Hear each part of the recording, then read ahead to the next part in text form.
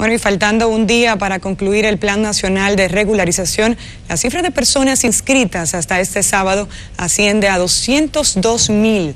Rafael Lara está en directo y nos cuenta que la mayoría de los inscritos son haitianos. Muy buenas tardes.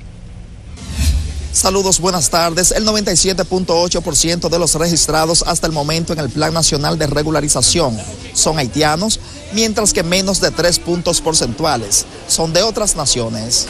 Por su lado, los activistas califican como exitoso el plan de regularización, aunque piden al gobierno dominicano dar un plazo para completar los documentos. Recuérdate que fueron 260 mil que estaban hábiles para participar en este, en este proceso. Si hay 200 tantos mil, quizás 50 mil se quedaron por diferentes motivos, muchos se fueron para, para Chile, Brasil, otros se quedaron para Haití, otros decidieron no, no participar pero yo creo que estamos en el camino correcto. Que tome en cuenta que hay personas que tienen que completar algunos documentos, que tienen que completar algunas certificaciones y que la mesa les pide desde aquí que se le otorgue unos días para que las personas puedan completar documentaciones.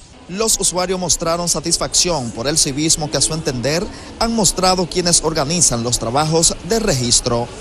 Bueno, el proceso hoy es ah, muy eficiente que Ah, es, bueno que ellos abrieron hoy sábado que yo vine en la semana estaba ah, mucho, uh, un fila muy largo. Para mí todo bien, porque yo vine por primera vez, pero el proceso está comenzando y, mucho tiempo, a mí nunca tiene tiempo para venir para acá, pero yo, yo sé que hoy a mañana son los últimos días para terminar, yo venía aquí por primera vez, yo lo veo todo bien.